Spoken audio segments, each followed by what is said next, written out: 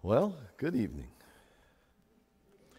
So, those of you who work in Awana, um, I, I realize that it's not every week that something amazing happens. Some weeks you're just glad that you survived and uh, you got to the end of the night and nobody was hurt in a major way.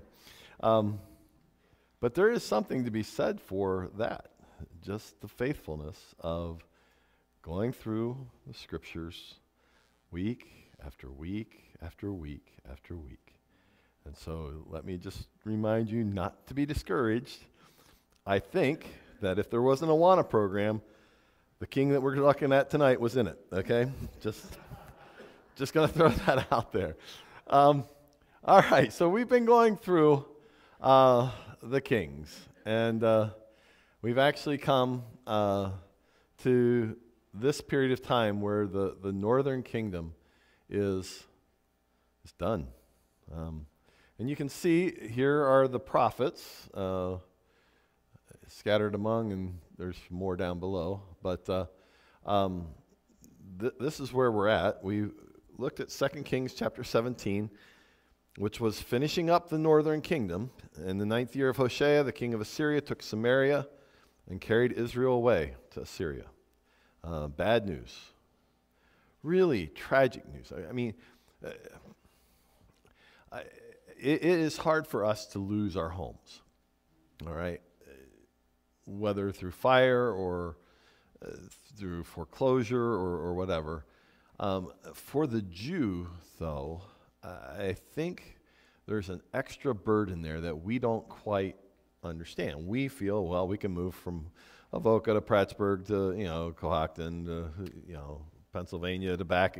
That, you know, in some ways is like, you know, North Carolina to El Paso, Texas. Who knows that one? Um, and, and we, you know, it's America, you know. For the Jew, the land is part of the covenant promise. And God has bound that in. And, and so this this is a tearing away uh, that I don't think that we quite understand. This is the judgment of God.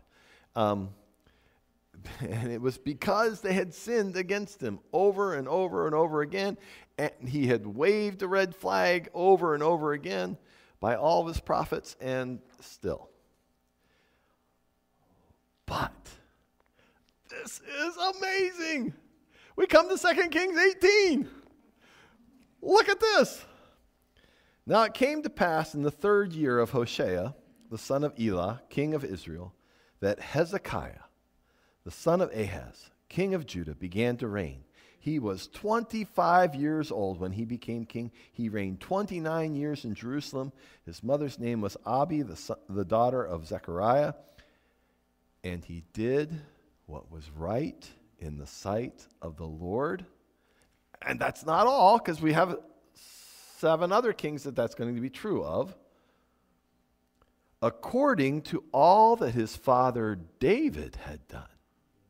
Right? This is, this is, we're hearkening way back to the beginning, a man after God's own heart. And Hezekiah, where does he come from? Well, he comes from, he's the son of one of the most wickedest kings of Judah. Ahaz was his dad, right? Who who figured out that he could build an Assyrian altar in place of God's altar. Right, it's hard to get worse than that. God should have just said, melt, and been done with him. He should have. But he didn't. And from that, by the grace of God, comes this king Hezekiah. Can God turn a nation around in a day? I, I, I, I surely hope you don't doubt that anymore. I mean, after this last year, uh, God, what God can do in, in, a, in a nation in, in a week is, you know, terrifying. God can do so much more. Can God raise up a godly man? Yes. Now, true his grandfather and his great grandfather are also godly kings. Okay, there there is some influence there, uh, undoubtedly, Not to mention the fact that Hezekiah, at least evidently, has a little bit of discernment and can see that the northern kingdom is going down the tubes. And then he sees that God judges them by taking them out. Does that have an impact? I, am fairly sure that has an impact on, on Hezekiah. Um, and this is amazing. Verse 4 this is part of the reason why it says that he followed after David. If you'll remember, most of the kings that we've read about, they did right what was, what was right in the sight of the Lord, yet they did not remove the high places. But look at verse 4. He removed the high places and broke the sacred pillars, cut down the wooden image, and broke in pieces the bronze serpent that Moses had made. For until those days, the children of Israel burned incense to it and called it Nehushtan. 700, almost 800 years before, Moses had been leading the children of Israel in the wilderness, and they had been complaining like normal. And God said, Enough. Let the serpents loose. They cry out, and God shows mercy. Again, you know, Judgment of God. Is there hope? Yeah. Yeah, we'll, we'll, we'll. Moses put together this bronze serpent, raise it up on a pole. Whoever looks at it will live. Great. But then they take the relic and they keep it. Is that a bad thing? No. Actually, you know, think through the number of times God tells them to build a pile of rocks. This is to be a memorial. Whenever your kids say, hey, what's, the, what's with the pile of rocks? You're supposed to say, our God did amazing things right here. You're standing in the very spot where God parted the Jordan River and let us walk through. Whoa. God must be a great God. God is a great God. Son, never forget, God's a great God. God tells them to put certain things in the, the uh, Ark of the Covenant to remember that God is a great God. Was it necessarily a bad thing that they kept this? I, I don't think so. What was bad was the way they ended up using it. Right? It replaced God. They, they, they worshiped it. And, you know, you got to give Hezekiah his due because he stands up in church and says, We're not going to do it that way anymore. Right? this this is it's, a, it's, a, it's an antique. You can't destroy this. Too bad. We've always worshiped this thing. Not anymore. Right? And realize it's the same thing with the high places.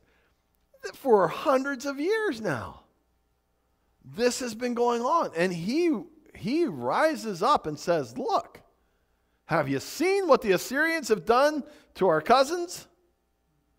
God's not joking about this. Let's get rid of it. And David, that was one of the things that David did well. He did not worship idols, he did not allow the worship of idols. He also had a soft heart to repent when he sinned. But this is what sets Hezekiah above. He, he calls the people, and as a leader, forces the people. Do, you, do I think it was a popular decision? Probably not. I'm, I'm, I'm rather sure it wasn't. Um, Isaiah 42. Remember, Isaiah would have been ministering uh, just prior to this, I am the Lord, that is my name. My glory I give to no other, nor my praise to carved idols. Um, Hezekiah says, Look, we're going to worship the Lord. We're going to worship the Lord God only. And so, verse 5 He trusted in the Lord God of Israel, so that after him was none like him among all the kings of Judah, nor who were before him. God sets him way up on the ladder. We're going to come to uh, Josiah, you know, another reformer in uh, just a couple of generations, but none like Hezekiah. For he held fast to the Lord.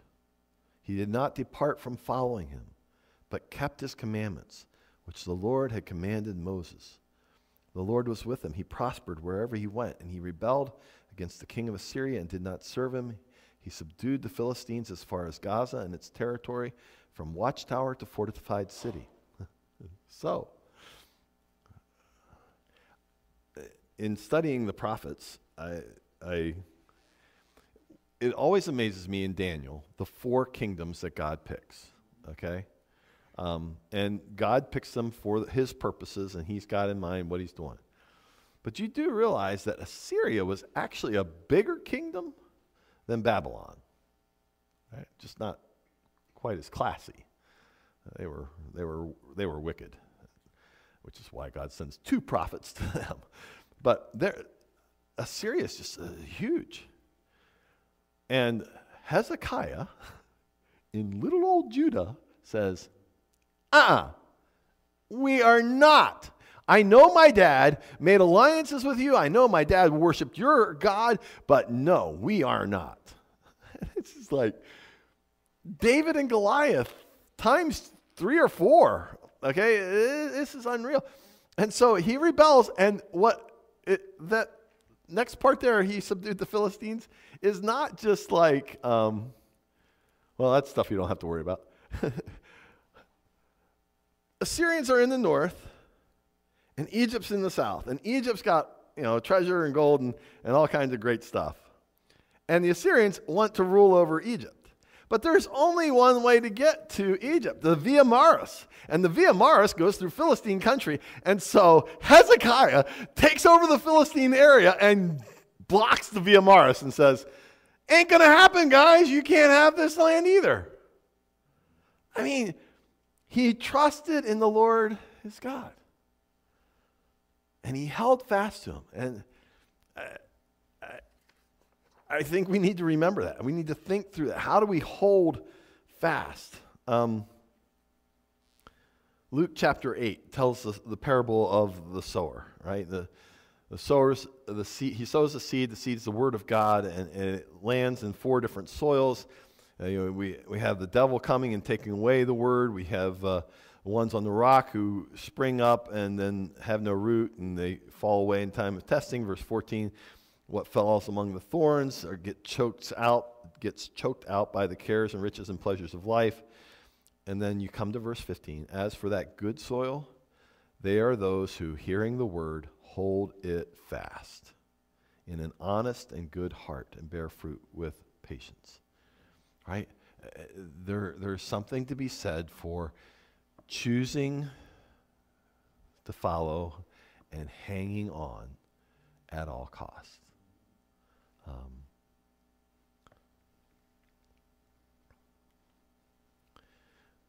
First Thessalonians 5. We urge you, brothers, admonish the idle, encourage the faint hearted, help the weak, be patient with them all. And I, I can't imagine that Hezekiah basically put this into practice long before Paul wrote it.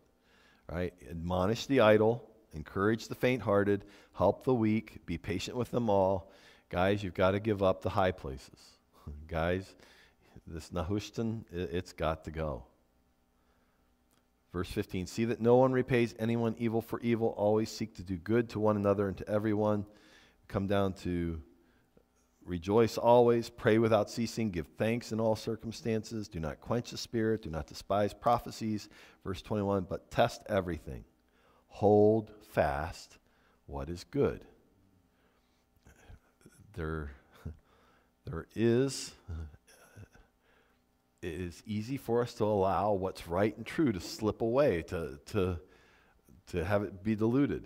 Now may the God of peace himself sanctify you completely. That's what helps to sanctify us, to cleanse us, right? Is holding fast um, to what's right. James 4 draw near to God, and he'll draw near to you. Cleanse your hands, you sinners. Purify your hearts, you double minded. Um, hang on to, to what is right and true. Uh, Revelation 3. to the church of Philadelphia, he writes, uh, I know your works. I've set before you an open door. Uh, and, and hold, verse 11, I am coming soon. Hold fast what you have so that no one may seize your crown. In the midst of hard times, don't lose sight of what's important. So, back to 2 Kings 18. Because Hezekiah's not perfect. Okay? God summarizes and says what, what Hezekiah is, going to be known for in God's economy, but he also doesn't miss some of the problem. 2 Kings 18, verse 9. It came to pass in the fourth year of King Hezekiah, which was the seventh year of Hoshea, the son of Elah, king of Israel, the Shalmaneser, king of Assyria, came up against Samaria and besieged it. Why? Because he's mad. he, you know, you're, you're rebelling. Uh, and at the end of three years, they took it. In the sixth year of Hezekiah, that is, the ninth year of Hoshea, king of Israel, Samaria was taken. So they, they take away the northern kingdom. Then the king of Assyria carried Israel away captive to Assyria, put them in Halah and by the Habor, the river of Gozan, and in the cities of the Medes, because they did not obey the voice of the Lord their God, but transgressed his covenant, all that Moses, the servant of the Lord, had commanded, and they would neither hear nor do them, which you'll recall is pretty much a quote from 17. God's now said this twice, and Hezekiah was wise and listened uh, to what he had said. So, verse 13.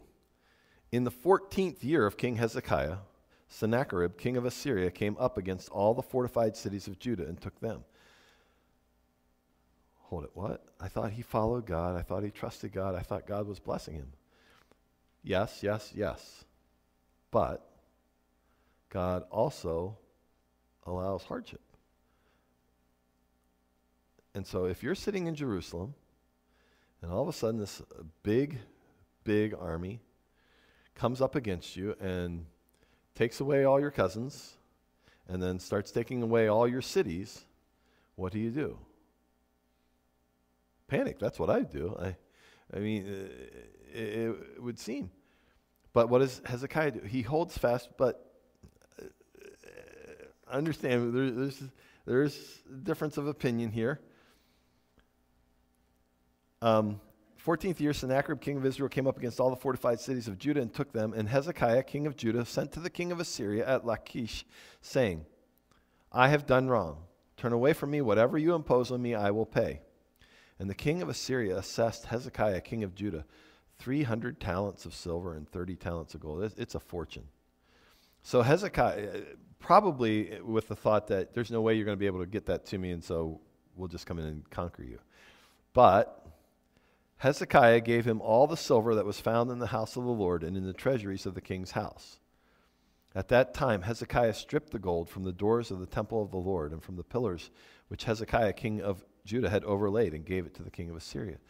So understand, Hezekiah is now in year 14. He's turned the people around. He's gotten rid of the high places. He's reinstituted the temple worship. He's, he's overlaid the pillars again with the glory that God has blessed him with. The success, the, the gold is to be glory for God that, that you know, he's provided.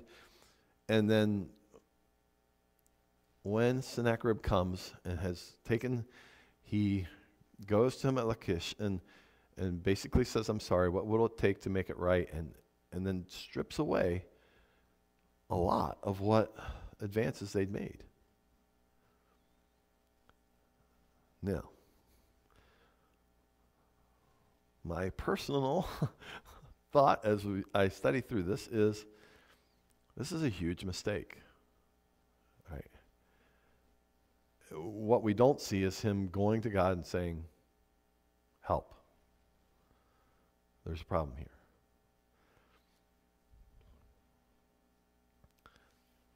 Um, and from what follows, this doesn't actually work. It's not like he bought Sennacherib off and Sennacherib says, okay, fine, you can have your vassal state and that's fine. That's not what's going to happen. It's going to get worse. But if you read Second Chronicles 32, Um, some of the commentators say this was a stall tactic.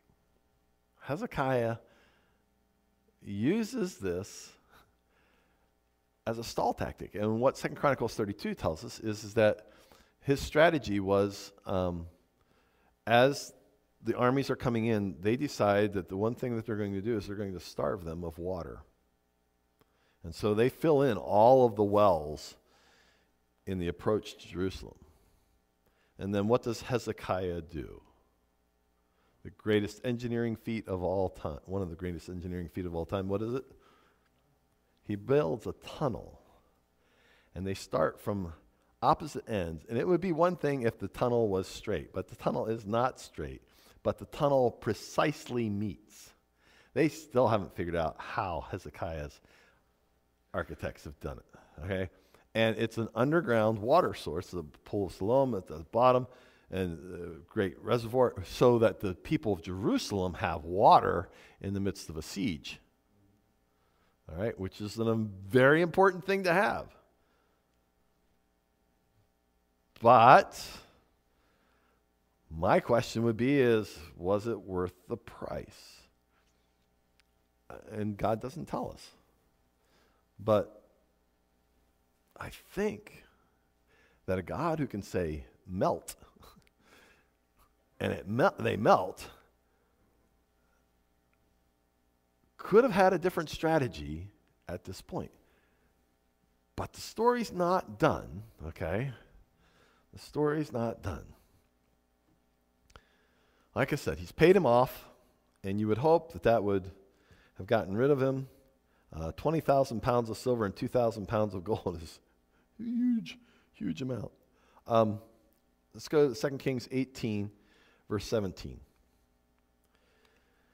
So after he's paid him off, then the king of Assyria sent the Tartan, the Rabsaris, and the Rabshakeh from Lachish with a great army against Jerusalem to King Hezekiah. And they went up and came to Jerusalem. When they had come up, they went and stood by the aqueduct from the upper pool, which, which I found to be interesting after I'd studied through the whole Hezekiah's tunnel. They, they, they had buried all the water, and so when these three guys come into town, where do they want to stand? They want to stand by the water, um, because evidently they haven't had water in a while or running water. I, it just it's funny to me that that would be where they would meet, which was on the highway to the fuller's field. And when they had called to the king, Eliakim the son of Hilkiah, who was over the household, Shebna the scribe, and Joah the son of Asaph, the recorder, came out to them. Because realize what an insult this is. Uh, Shalmaneser is evidently in Lachish, but he sends his representatives. And the king says, Well, fine, I can send you representatives as well. So you six guys just meet out there by the aqueduct. That's fine. All right. It's kind of intimidating, though, that the three are, are at the aqueduct. They're, they're close to the city. All right. Um, uh, let me see. So actually, the, the three guys, you know, the, the, Tartan, Rabsaris, and the Rabshakeh are probably not names or titles. Uh, the Tartan means viceroy, so it was probably Sennacherib's second in command. The Rabsaris is the chief of the eunuchs, which mostly has to do with the king's household. The Rabshakeh uh, means something like the chief baker, which I thought was kind of odd, but probably was indicating he was uh, Sennacherib's chief steward. Okay, so they would have been the upper echelon of the king of Assyria's court, and he sends them, and Hezekiah says, Fine, we'll send you three guys too. And uh, verse 19 Then the Rabshakeh said to them, Say now to Hezekiah, Thus says the great king, the king of Assyria, What confidence is this in which you trust? You speak of having plans and power for war, but they are mere words. And in whom do you trust that you rebel against me? Now look, you're trusting in the staff of this broken reed Egypt, on which if a man leans, it will go into his hand and pierce it. So is Pharaoh, king of Egypt, to all who trust in him, which was actually a pretty true statement. Uh, you, you can't trust Egypt. As a matter of fact, it's kind of it should have been a slap in the face, uh, no, no, a red flag. Let's go back to that analogy. Should have been a big red flag to these guys. What had God said? I've delivered you from Egypt. Never, never, never go back to Egypt. Never trust Egypt. Don't trust their horses. Don't trust their chariots. Don't trust them. And evidently, is blocking the Via Maris and, and protecting Egypt. Hezekiah at least made overtures, and uh, the Rabshakeh reminds him that's not where you want to go, which is true because that's what God would have told him. Verse 22 But if you say to me, We trust in the Lord our God, is it not he whose high places and whose altars Hezekiah has taken away and said to Judah and Jerusalem, You shall worship before this altar in Jerusalem? Which, now this is a good thing. This is true. This is exactly what has happened. But what the Rabshakeh doesn't understand is, is that's exactly what God would have said. yeah, you've done the right thing. You've removed all the high places. You've removed all the false places of worship. You've said everyone worship in Jerusalem. But from the outside view, what are they saying? Wow, man, you're, you're just taking away your God's glory. And God's saying, no, no, no, no, no, no, no. You're doing what I've said is right, and I will honor that. Verse 23 Now therefore I urge you, give a pledge to my master, the king of Assyria. Hold it. Didn't you just pay him buku amounts of money in gold and silver? Yeah, but say that you're going to surrender. And I will give you 2,000 horses if you're able on your part to put riders on them. And, and this is, he's just becoming mocking. You know, you've got 2,000 people who could, could mount up on horses if we gave them to you. How then will you repel one captain of the least of my master's servants? Because in the least of my master's servants, they have over 2,000 horses in their, their, their grouping. You'd never, you'd never beat us. If we gave you part of an army, you would never beat us. Put your trust in Egypt for chariots and horsemen. Definitely a no no. And then he crosses the line. Everything he said so far is pretty true. Verse 25 Have I now come up without the Lord against this place to destroy it? The Lord said to me, Go up against this land and destroy it. And Eliakim the son of Hilkiah, Shebna, and Joah said to the Rabshakeh, Please speak in Aramaic. Please speak to your servants in Aramaic, for we understand it, and do not speak to us in Hebrew in the hearing of the people who are on the wall. But the Rabshakeh said to them, in a louder voice. Has my master sent me to your master and to you to speak these words, and not to the men who sit on the wall, who will eat and drink their own waste with you? And yes, that is exactly what it sounds like. You guys are, are you're done. When we, we besiege the city, you're going to be eating and drinking your own waste. And the Rabshakeh stood and called out with a loud voice in Hebrew and spoke, saying, Hear the word of the great king, the king of Assyria. So, What's the strategy here? The strategy here is to cause them to doubt in God, cause them to doubt uh, in what God is doing. And he, goes on. Now, what it reminds me of is Ethel Barrett's story, War for Mansoul. Okay if you haven't heard it, it is on YouTube. Okay, I, I just downloaded it again because I'll listen to it again this week. Uh, she takes John Bunyan's uh, Holy War, which um, is far overshadowed by Pilgrim's Progress, but she takes that book and and puts it for. I, I remember listening. This is how old I am. I remember listening to it on a record. Okay, it's a flat CD-like thing that you play with a needle. It's old technology. Um, but I remember listening over and over again because it's just it's just well well done. She's a great storyteller and she uses different voices. And, but Mansoul is a city that portrays man and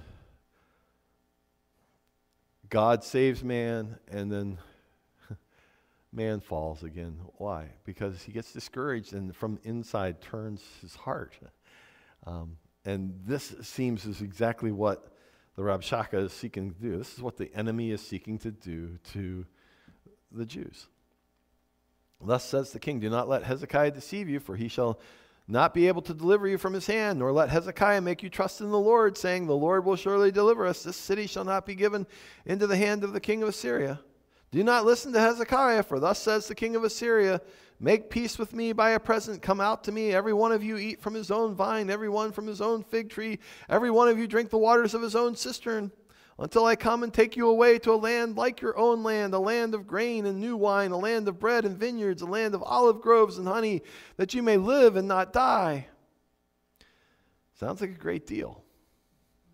But do not listen to Hezekiah, lest he persuade you, saying, The Lord will deliver us. Has any of the gods of the nations at all delivered its land from the hand of the king of Assyria? Where are the gods of Hamath and Arpad? Where are the gods of Sepharvaim and Hena and Ivvah? Indeed, have they delivered Samaria from my hand? Who among all the gods of the lands have delivered their countries from my hand, that the Lord should deliver Jerusalem from my hand? And this is, this is a major load of discouragement, right? Wow. That guy, that guy, that guy from Assyria, yeah, he, he's, he, he's pretty much got a 100% batting average, thousand percent batting average. He's he's not missing. He, he's taking every land that he's gone with. He's he's rocking and rolling, and there's there's nobody standing up to him.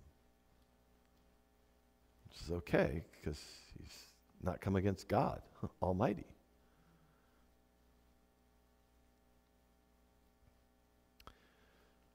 And it's a tribute to Hezekiah that in 14 years He's led the people to trust the Lord, to hold fast to the word of the Lord, especially when it gets rough, especially when there's all kinds of voices saying, it's not going to work. You should leave. You should go away.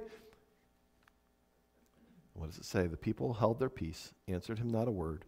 For the king's commandment, Hezekiah's commandment was, Do not answer him. Then Eliakim the son of Hilkiah, who was over the household, Shebna the scribe and Joah the son of Asaph the recorder came to Hezekiah with their clothes torn because they're in mourning because this guy has spoken words of discouragement and told him the words of the Rabshakeh. And that's where we're going to end. And we won't be back to it for another three weeks. But the story only gets better from here. And I'd encourage you to even look ahead and read ahead and just rejoice. It's one of, one of my favorite stories uh, of God's deliverance, right? This is where the worship team comes to the front, all right? So uh, let's pray. Father God, we do realize that our enemy, Satan, seeks to discourage us.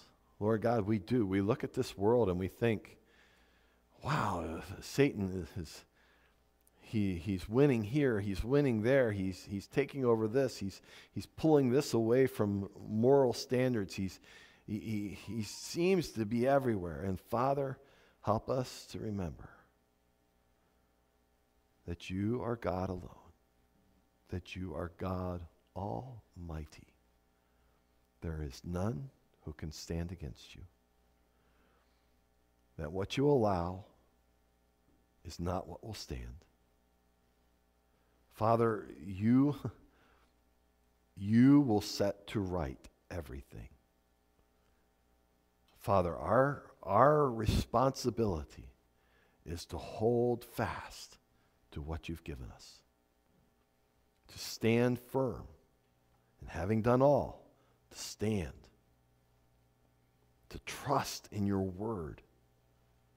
Lord, help us as we see the enemy Rise up. Realize that you are setting him up for destruction.